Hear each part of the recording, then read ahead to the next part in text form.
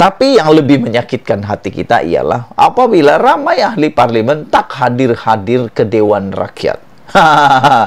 Jadi itulah malam ini aku nak uh, aku nak sajikan kepada kamu semua, aku nak kongsikan kepada kamu semua siapakah ahli parlimen yang kaki ponteng yang selalu tak hadir kalau macam pergi ke sekolah mereka ni mungkin sudah layak dapat surat amaran satu, dua atau tidak tiga kerana tak hadir kelas. ahli parlimen di Malaysia boleh disenaraikan beberapa orang yang kaki ponteng menghadiri persidangan parlimen atau Dewan Rakyat. Jadi jom, aku nak bacakan kepada anda senarai ahli parlimen yang kaki ponteng. Siapa yang nombor satu, siapa yang paling top itu. Jom kita lihat. Satu badan pemerhati telah diwujudkan bagi mengenal pasti ahli parlimen kaki ponteng. Ha, daripada Malaysia kini. Ahli Parlimen Pagoh Muhyiddin Yassin mencatatkan kehadiran sidang Dewan Rakyat yang terendah untuk tahun lalu dan setakat tahun ini. Wow, rupa-rupanya Muhyiddin Yassin adalah juara kepada ketidakhadiran di Dewan Rakyat yang terendah tahun lalu dan setakat tahun ini. Ia menurut inisiatif MyMP yang mengeluarkan apa yang dinamakan sebagai Senarai Ahli Parlimen B15 semalam. Paling bawah dalam senarai adalah bekas Perdana Menteri kita Muhyiddin Yassin kata Muay, Muay MP.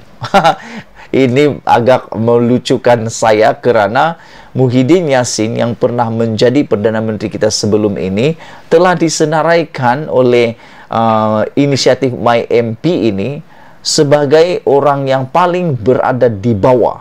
Maksudnya, paling kerap tak hadir ke parlimen atau dengan kata lain, paling banyak kosong. tak hadirlah kataan gitu kalau pergi ke sekolah. Usaha untuk mendapatkan komen dari pejabat Muhyiddin setakat ini masih belum membuahkan hasil menurut laporan ini. My MP berkata selain Muhyiddin, turut termasuk dalam senarai B15 adalah bekas Perdana Menteri Malaysia Dr. Mahathir Mohamad dan Perdana Menteri Muhyiddin Yassin. Wah, ini satu kejutan besar. Yang mana dua-dua orang yang disebut ini adalah bekas-bekas Perdana Menteri kita.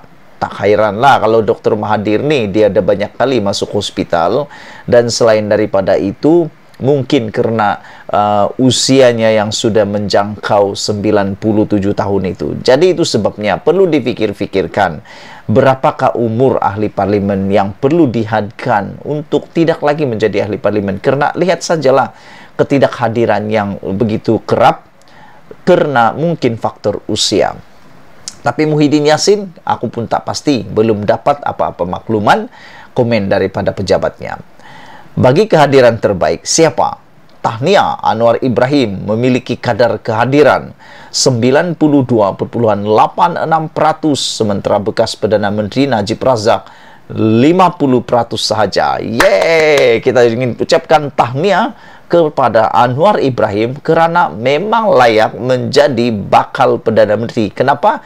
Dia telah mencapai memiliki kadar kehadiran sebagai uh, ahli parlimen paling kerap hadir 92.86%.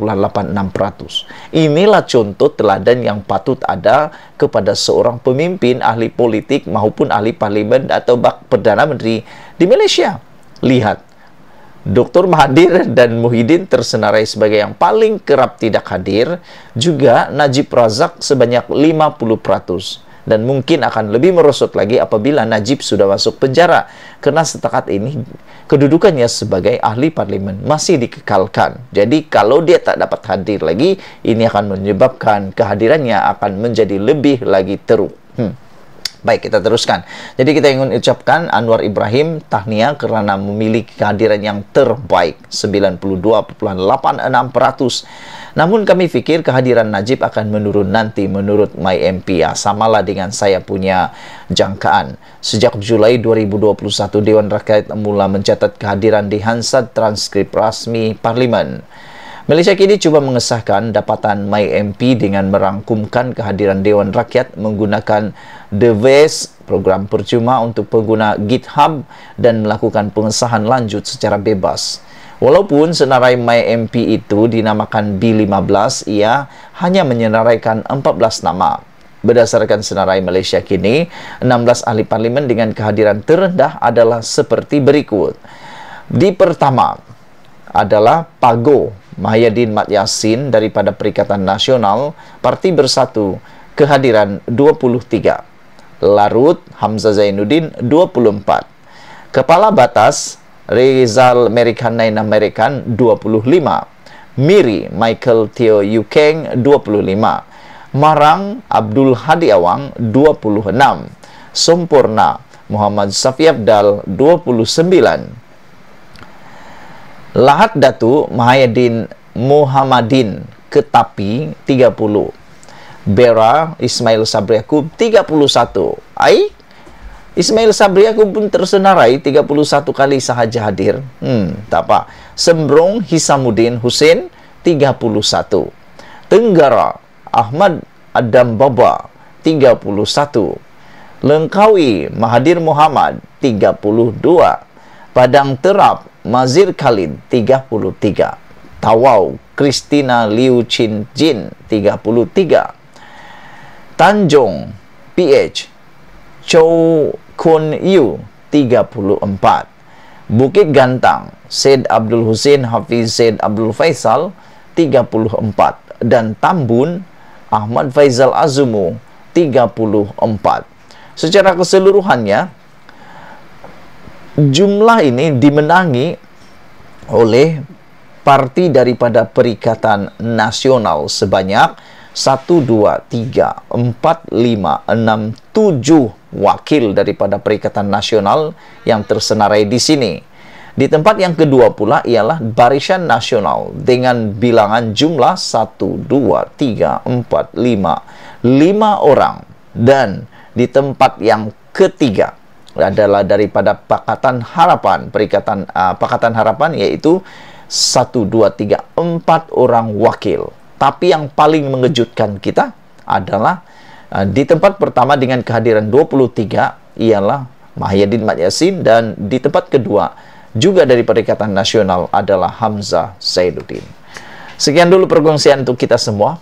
Itulah seperti yang aku cakap tadi ahli parlimen adalah orang paling penting dalam kawasan kita yang akan membawa nama ataupun membawa suara kita di parlimen. Malaysia kita punya, kita jaga sama-sama kau yang pilih mereka, bukan yang mereka pilih Anda. Bye-bye.